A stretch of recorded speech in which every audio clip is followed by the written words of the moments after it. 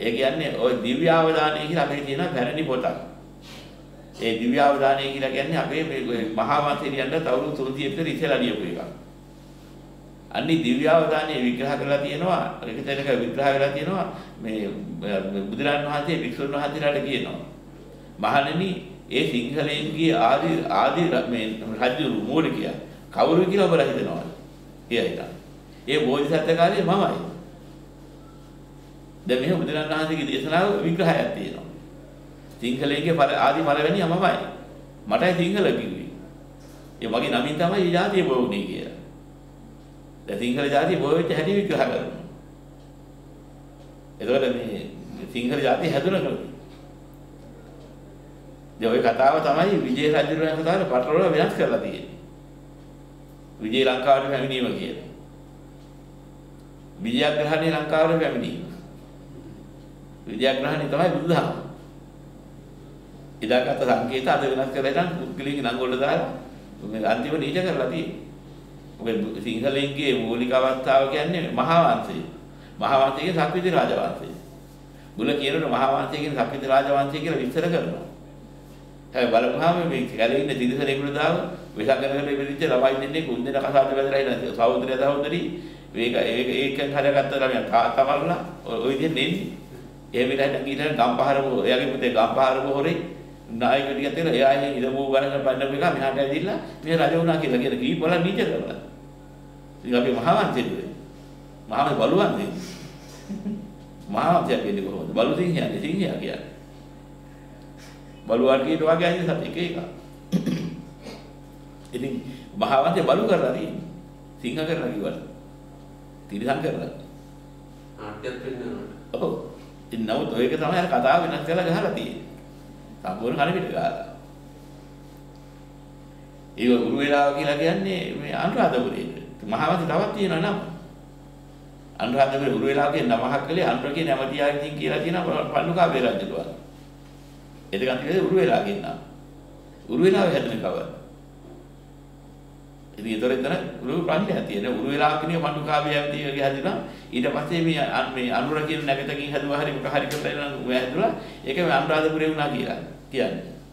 උරු වේලාව කියන නම ඊට ඉස්සෙල්ලා නැති වුණා. උරු වේල දානකේ තමයි බුදු වෙන්නේ කි. තේනානිකගේ ඉතරේලා ජාතිරි මහ බෝධිනාථ වෙලාට. මේ උරු වේල දානව බලාගෙන ගියේ බුදු වෙන්නේ. මේ උරු වේල ජනපදයේ තමයි රාජධානිය. සිංහලයේ පළවෙනි ඒ කරා කිව්වේ මේ බෝසතාණන් වහන්සේ. ඒ සිද්ධාර්ථ බෝසතාණන් වහන්සේ බුදු වෙන්නේ ඉස්සෙල්ලා. ඒක තමයි මේ සිංහලයේ පළවෙනි රජුම මමයි කියලා. මගේ පැවිදිච්ච පරපුර තමයි සිංහල පරපුර කියලා. දියතා ඇහිලා තියන්නේ අද.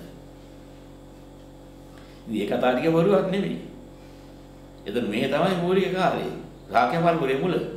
ශාක්‍ය වංශය කියලා කියන්නේ මහා මේ ඔය කියන මේ වේදා හිටපු සක්විති රාජවංශය. ශාක්‍ය වංශය කියන්නේ. සුද්ධම වංශය. ඒ ශාක්‍ය විදියේ ලංකාවේ. මෙහි ඉඳලා තමයි දේවුල්ලන්ගෙන් ගිහිලා හිටා වෙනදාම තමයි මහරජාවරු කිව්වේ වෙනදා කරන අය. එයාගේ රටවල් පාලනය කරේ විලෙන්දු. නායකවරුනේ විලෙන්දු රජවරු හැටියේදී. ඒකට තමයි පාලනය කළේ ඔක්කොම. ඉතින් මෙහි ඉඳලා හිටා මොකද ඉන්දියාවේ මෙහාට ගේනවා ඔය උතුරෙන්ද ගේන පැත්ත තමයි උතුරු ඉන්දියාවේ මේ පැත්තෙන් තමයි ඇවිදilla ඔය මේ මේ මෙහාට ලංකාවට සම්බන්ධ වුනේ. මන්නාරම් පැත්තෙන් ගිහින් ගෙනහලා තමයි මෙහාට ඔය කුරුඳු මැණික්කුවක් මෙහි ඉඳන් අර යන්නේ ඔය එහාට ගෙනිනවා එහි තියෙන ආහාර මෙහි ගෙනත් දෙනවා. ඔය ඉඳන් විලඳ අපිට ඉතින් අසාධාරණ විදිහට උන් කපටිකමෙන් ගන්න හින්දා මේ හිටපු මහරජාවරු මේ මේ අය තමයි. එහෙ ගිහිලා විලා හිටන් එහෙ වෙනද මධ්‍යස්ථාන වීදෙවි. උතුරු ඉන්දියාවේ. පීඩවල එහෙ ගන්න බඩු ඒකට සාධාරණ විදිහට එහා එකතු කරනවා. මෙහෙ ඉන්න වෙනද එහෙ ගිහිලා ඒගොල්ලන්ගේ බඩු මෙහාට අරන් එනවා. ඒතකොට දැන් අසාධාරණේ කෙරෙන්නේ නැහැ. ඒ ක්‍රමයේ තමයි සකස් වුනේ. ඊට පස්සේ මහා මාලිගා හදන්නේ ප්‍රදේශ පාලනය කරගෙන ප්‍රාදේශීය රාජ්‍ය නායකයෙක් වශයෙන් තමයි සුද්ධෝදන ආදි වශයෙන් හිටියේ. සුද්ධාද නම් තියෙන්නේ ඒ විදිහට. ඒතර මේ ඒ සිංහ කියන නැව් සමාගමේ තමයි අධි අධිපතියා. ඒතර යතා මහරජාව. ඉතින් එයාට අපන් ළමයාට කිව්වා සිංහල කියලා. ළමට සිංහ කියලා. ඉතින් සිංහල කියන්නේ ඒ අර්ථය. යා ඒ ඇදෙන්නේ මේ මෙහෙ ඉඳලා තමයි එතකොට මේ මේ එක ගියේ ඔය මේ යසෝදරා මහා මායා දේවිය ආදී මෙහෙ ඉන්න අය. නෑදෑ පරපුරෙන් වහගෙන ඉහි සම්බන්ධ වුණා. දරුවා ලැබෙනකොට එනවා මව් රටට එන්න ඕනේ. මව් ඉන්න දෙන්නේ. එන්න අතරමඟින් උටනවා ලුම්බිනිදී හම්බ වුණේ. ඉතින් අප හොරන් ගියා. ඉතින් ලුම්බිනිය උපන්දන හරි. ඒකයි කාරණේ. ඉතින් හදන ඔය හොයන්න බෑ. ඊට පස්සේ අවුරුදු 16 වයස වෙන කාලේ වෙනකොට එහෙම මෙහාට ආවා. ඇදිරට මේ මව් රටට. ඇදිරට අනුරාධපුර ප්‍රදේශයේ තමයි මේ අර මේ හදාගත්තේ මේ වෙල් දිහාය හැදුවේ. වෙල් යා හදලා ඉතින් මේ අර මේ කියන්නේ ඌරන් වෙච්ච පස තිබුණේ. ඌරන් කියන මඩපල් වෙච්ච පස. ඒකේ වෙල හැදුවා. මේ මඩපල් වෙච්ච මඩ පෝර පස්සේ හදව වෙල් දා උරු වෙල කිව්වේ.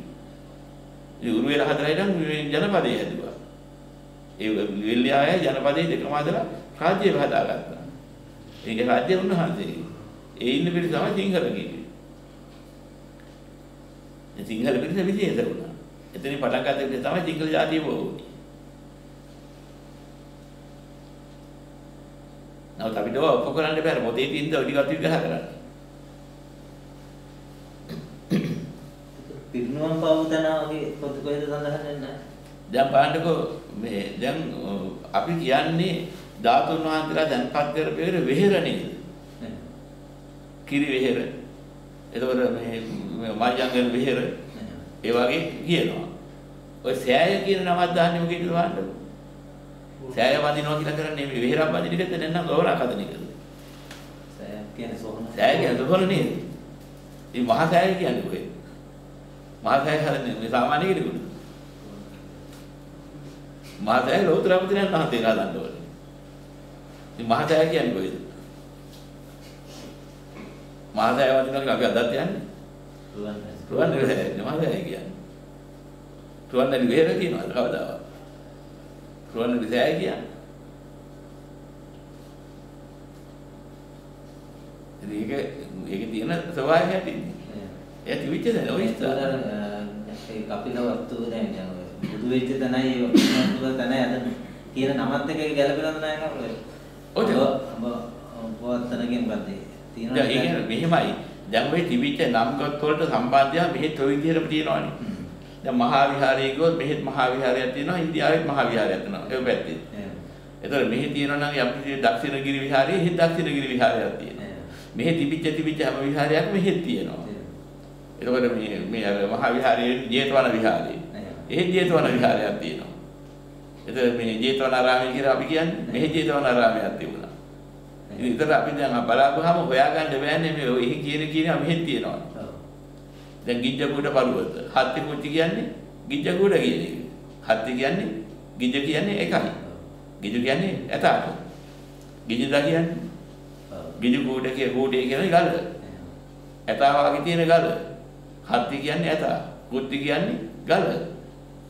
දෙකම එක. හත්ති කුච්චි පබ්බත ඒ ගිජ්ජුකුඩ කියන අන්ති කුඩ. අන්න ඒකයි.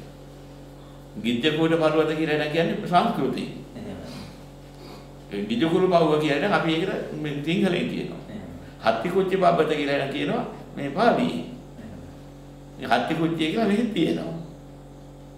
මේ හත්ති ගිජකුරු පව්ව පාවල සක්මන් කර බුදුරන් වහන්සේද ගල් මේ මේකක් හදලා ගල් දුන්නක් හදලා ගලක් පෙරලන්න හැදුවාම ඒ ගල ගිහිල්ලා යම් පිළි ගල් පතුරට ඉලලා හිටියා වැටෙන්නේ නැතුව පල්ලට. අන්න හත්ති කුච්චියට ගිහින් බලන්න පල්ලට පෙරලම ගල තවත් තියෙනවා වැටෙන්නේ නැතුව ඉහිල වෙලා. බලපුවා ලස්සනද මේ? ගුරුවන්ගේ සෑයට මේ ගුරුවන්ගේ මේ මෙතන මෙහාට ඇහැට මට අද කොහෙද තියෙන්නේ? එතෙන්ද. අන්න ඉතින් ගියාම ලස්සනට පේනවා. ගලවම පෙරලා ඔන්න මෙන්න කියලා තියෙන වැටෙන්නේ. මා විශාල ගල. ගල උඩ තියෙන පෙරේ හරියට පාගුණ තියෙනවා සක්මන් බලු. ඒ ඔක්කොම වැහිලා. තෙල්ලිවි සිය ගානක් තියෙනවා. ඒවා කියවලක් නෑ. බුදු වීම විතරයි මධ්‍ය දේශයේ සිද්ධ වුනේ. ඔව් මධ්‍ය දේශේ තමයි වෙන්නේ වෙන මොකද? මධ්‍ය දේශේ මේ. ඉපදීම හිටියා. නෑ කාමරේ ඒක ජේතවනාරාමයේ වගේ ඈ ජේතවනාරාමයේ වගේ තියෙන්නේ මේකට සම්බන්ධවද? දැන් ජේතවනාරාමයේ මේ පරීක්ෂා කරලා බැලුවොත් ඉන්දියාවේ ජේතවනාරාමයේ අවුරුදු 1000ට වඩා පැරෙන්නේ නැහැ. කාබන් පරීක්ෂණය බලනකොට. මේ ජේතවනාරාමයේ අවුරුදු 2000 ගණන් පරණයි. දැන් ඔක්කොම හංගනවනේ. මේවා මේ ඉලිවස්සන්නේ නැහැ. ඒ මෙහි ජේතවනාරාම කොහෙද තියෙන්නේ මේ ඔය? දැන් මේ තියෙන සෑය තියෙන ජේතවනාරාමයේ මේ ඔව්. චෛත්‍ය තියෙන තැන? ඔව් දැන් මෙහි දැන් ගල් කණු තියෙන්නේ. ඔව්. ඒ ගල් කණු වල තියෙන ඉතිහාසෙ තිබිච්ච ඒවා. දැන් ගල් කණුව කාබන් පරීක්ෂණේ පරීක්ෂා කරපුවාම අවුරුදු 2000 ගණන් පරණයි. පිටින් බැලේ කාබනික දෙයිනේ බලන්න. එහෙම. ඒතර ඉන්දියාවේ තියෙන ලෝවා මහා පාසාදාදී ඒ කියලා ඒවත් තියෙනවනේ. ඒ තියෙන ඒවා කල්කන් මෙහි තියෙනවනේ. ඒවා පරික්ෂා කරලා 18 පරණ තියෙන්නේ. එහෙම. 2000 ගණන් පරණ නැහැ. ජේතවනාරාමේ පිළිලා තින්නේ රුවන්වැලිසෑය කිට්ටුවම. ඈ? ජේතවනාරාමේ පිළිලා තියලා තින්නේ රුවන්වැලිසෑය කිට්ටුවමද? ඔය කිට්ටු වලදලා. ඔව්. ඔය පොඩි ඒ ගම්කොටු කියලා කියන්නේ. ගම්කොටු තමයි රාජ රාජ්‍ය කිව්වේ. ඒ ගම්කොටුවක් කියලා නම් කියන්නේ ඒක තමයි මේ මේ රජවරු කියලා ගත්තේ. ඒ කාලේ. උඩා රාජ්‍ය මහා රාජ්‍ය. රාෂ්ට්‍ර පාලනයක් නේ අන්න කියන්නේ. රාජ්‍ය පාලනය එක තිබුණේ. ඒක වෙනම විශේෂ පාලන ක්‍රමයක්. එතකොට අරකට උරු වෙලා කියලා සුවර්ණලි සෑදීට කොසමෑ නුවර කියන්න පුළුවන්. එතකොට ඒක ඉන්න ළඟ ළඟ තියෙන උලන්. එහෙම. දැන් පයින් යන දුර උනා. වෙන් වෙන්න පුළුවන්. ඔව්. දැන් කොහොඹ ගස් මුල් කරගෙන කොස මෑනුවර හැදෙන කොහොඹ ගස් වලින් වට කරවු නගරේ. කොහොඹ ගස් අදත් ඔය පැත්තේ කොච්චර? තියෙනවා. ඒවා ඒ ගස් ඒවා කොහොම තියෙනවා. අපිට අද මේ කිරිදාති විචා අද කියලා කියන්න අමාරුයි එකපාරම විග්‍රහ කරලා. මොකද නංගොත් වෙනස් වෙලා පරි- පරිසර වෙනස් වෙලා ඔය එක එක විදිහට කලින් කරලා ඇති වෙන වෙනස්කම් තියෙනවනේ. තිවිච්ච ගංගා තිවිච්ච වෙන පැත්තට හැදිලා. ඒ පැත්තේ වැඩි කඳු වෙලා. ඔබ ඊට පස්සේ කස්කොලා වෙයිල කැලෑ වෙලා. හොයන්න බෑ ඉතින් ඕවා. ඒක හොයනවා නම් ආයෙම කවදා හරි අවිඥා බලයෙන් බලන්න ඕනේද? එහෙම බලන්න ඕනේ. නැතුව බලා ගන්න බෑ කවදාවත්. එහෙම. නැත්තම් අද ක්‍රමයක් නැහැ නේ ක්‍රමයක්. ඒක හොයන්න බෑ. යනිකර හොයලා වැඩකුත් නෑ. නිකන් ඔක්කොම අවුල් විතරයි. ඔය හදන්න කිය මිනිස්සු රණ්ඩු වෙනවා. එහෙම. සත්‍ය බෝධි වාක්‍ය ධර්මනේ අවශ්‍ය වෙන්නේ. නිවන් දකින්න. ඉතින් ඒ කොහේ වුණා කවන්නේ හැටි කරගන්න කියන එක වන්න කියන්නේ කටින් නන්නේ අවුල් හදනවා. බොරුවට.